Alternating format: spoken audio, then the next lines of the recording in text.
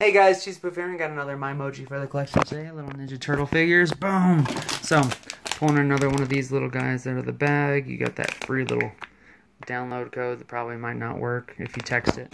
But, otherwise, pulling it out. Oh no.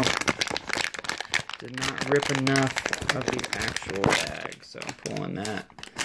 And boom! We got a version of Donatello and he's like half smiling, cheesing it up there. Hey, I feel like the the little circle portion should be a little bit on the right, but there you go.